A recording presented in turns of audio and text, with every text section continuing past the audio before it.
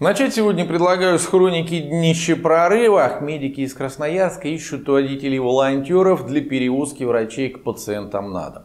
Еще раз для тех, кто не понял, волонтеров тамошнее здравоохранение разыскивает, то есть людей, которые согласятся помогать родине на общественных началах или даром. Да оптимизировались, блин, начинаем.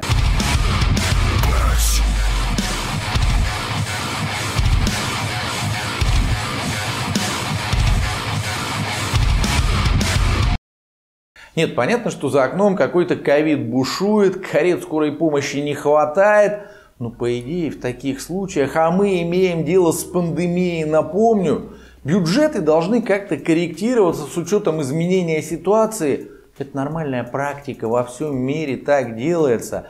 На эти цели, к слову, в бюджеты всегда закладываются доп. средства. Называется все это непредвиденными расходами и прописывается в документах отдельной строкой. Однако в данном конкретном случае у меня, знаете, вопрос возникает. А на что красноярские чиновники уже успели потратить те непредвиденные деньги? В лидеры по числу зараженных регион ни разу не попадал. Ситуация там средняя. Больниц новых в режиме ошпаренной кошки тоже не строили, да и с обещанными доплатами медперсоналу людей в основном кинули, как и везде, простите мне мой французский. Тогда на что бабки-то израсходовали? Даже сейчас, когда возникла потребность в дополнительном транспорте, ребята волонтеров ищут. Где деньги, я спрашиваю, хотя... Ответ я и так знаю. Вот вы знаете, воистину правильная поговорка «Кому война, кому мать родна?» И обратите внимание, в этой войне с пандемией проигрывают исключительно обычные люди. Причем постоянно зато у слуг народных все прекрасно.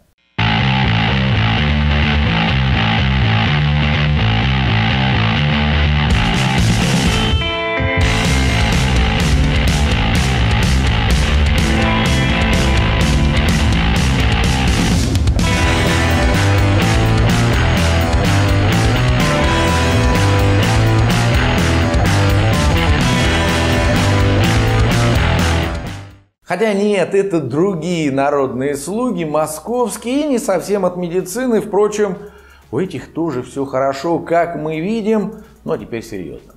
Знаете, я, например, и правда ни разу не слышал, чтобы какой-то губернатор, министр, мэр или депутат пожаловались, ой, проблемы у меня с банком начались, вынужден был взять кредит полгода назад, когда все только начиналось, дабы семья не голодала, сейчас вот Отдавать займ совершенно нечем, в суд вызывают. Машинку нашу единственную старенькую описывать хотят. Путин, помоги!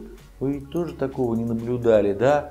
У чиновников и депутатов проблем почему-то не случается. Повторюсь, даже в самых непростых ситуациях они вон поют, танцуют, отдыхают, жрут от пуза. А в Красноярске в это время врача ждут, которого довести не на чем да и не на что. Движение водителей-волонтеров набирает обороты в Красноярске. Добровольцы подвозят врачей на вызовы к пациентам. Особо востребована такая помощь в детских больницах. На сегодняшний день среди детей, прикрепленных к поликлинике номер 8, коронавирусом болеют 189 человек. Кстати, знаете, что забавно? Ровно в тот день, когда в ленту попала новость с Красноярском, мои коллеги из МБХ и Радио Свобода Придали огласке другую интересную информацию, касающуюся бюджетных трат, и вот сейчас держитесь за что-нибудь. Министерство обороны России выделило 15 миллионов рублей на приобретение бытовых пылесосов. Пруф вот, пожалуйста, с официального сайта госзакупок. Как тебе такое, Илон Маск? Минздраву водителям заплатить нечем, а Минобороны пылесосы закупает на миллионы рублей. Ага, без пылесосов ведь обороноспособность страны рухнет просто. Но и это еще не все. Самое забавное, история с теми несчастными пылесосами для военных – всплыла аккурат, когда Минфин заговорил о необходимости сократить армию на 100 тысяч человек в целях экономии бюджетных денег. Ребят, блин, Голливуд отдыхает. А это реальная журналистика, новости, дурдома снова с вами. Поехали! Не могу не поздравить олухов, которые, повиливая хвостиками, бежали в июне-июле голосовать за поправки в Конституцию под радостные визги. Это же здорово изменит нашу жизнь. А вот и изменения подвезли господа лохи, простите, олухи. Теперь к конкретике.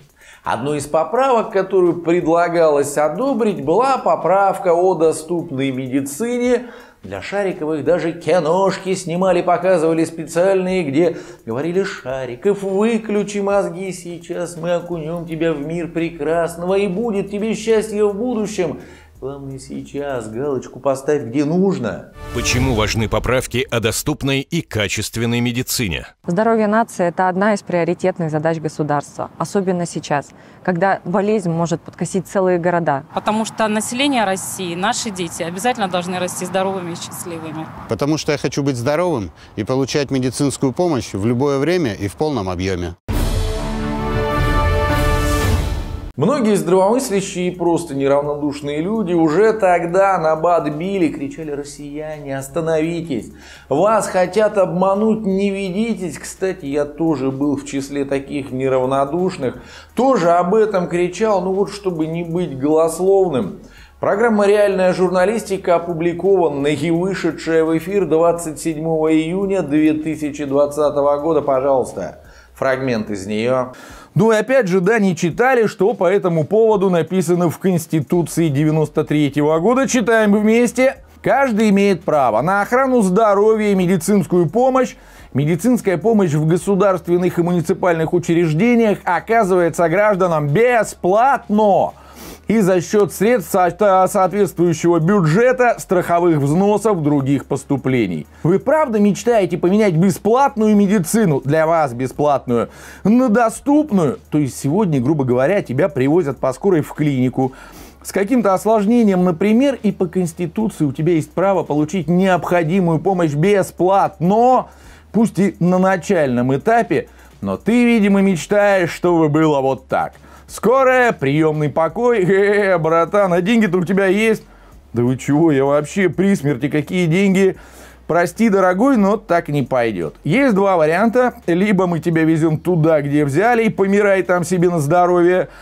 Либо вот эту вот бумажку подпиши на получение кредита на твое лечение в банке первый медицинский, что будет принадлежать, например, какой-нибудь Голиковой, и едем в операционную. Прошло всего 4 месяца и началось.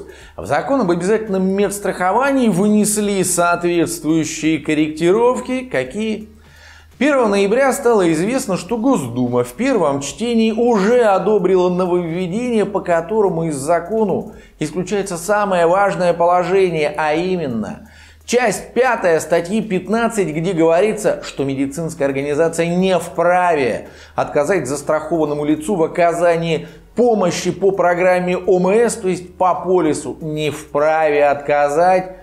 Вот теперь этот пункт исключают оттуда из закона, если совсем на пальцах, депутаты фактически разрешили любой больнице или поликлинике послать тебя с этим самым полисом куда подальше, даже если ты загибаешься и вот-вот помрешь, нет. За деньги-то и по сходной цене, пожалуйста, мы рады вас видеть. И тебя вылечат. И тебя тоже вылечат. И меня вылечит. А вот по полису Поговаривают, что связано оное с тем, будто в самом фонде медстрахования начались проблемы, катастрофически не хватает средств. Но у меня, вот вы знаете, стойкое ощущение присутствует. Деньги наши просто решили прикарманить. Так же, как пенсионные накопления, например, или там вклады советские, многое другое. Браво! Впрочем, хотите честно, а мне снова не жалко россиян. Есть такая старая добрая поговорка «скупой платит дважды, дурак трижды, а лох платит всегда». Подавляющее большинство наших соотечественников, они и правда лохи. Причем ленивые лохи, их 30 лет, по одной и той же схеме каждый раз кидают и не в коня корм. Только ведь с пенсионной реформой точно такую же аферу провернули, нет бы задуматься зачем. Мы опять сидим у телевизоров или там у компьютерных мониторов, слушаем каких-нибудь проплаченных козлов, это все ради вас делается и бездумно, затем бежим где расписаться, я за. Даже ведь не почитали те поправки 90% проголосовавших, а сейчас поздно пить боржоми. Ну что я могу сказать? Голосовали на пеньках, теперь вот и лечиться будете на лавочках. Так вам и надо все. Даже говорить ничего больше не хочу. Это была реальная журналистика и сегодня вот так. В тысячный раз призываю подписаться на наш второй канал. Этот уже конкретно топят и цензурируют. Просмотры морозят и скручивают. Из трендов и рекомендованных выкидывают. Людей без их ведома отписывают. В общем, делают все, чтобы меня и таких, как я, россияне не услышали. С новым каналом хотя бы временная возможность появится прорвать информационную блокаду. В обозримом будущем сделаю об этом большую программу, ну а на сегодня откланиваюсь. Подписывайтесь, приходите к нам в соцсети, поддерживайте, распространяйте, короче, будьте активными. Все, пока. Пока!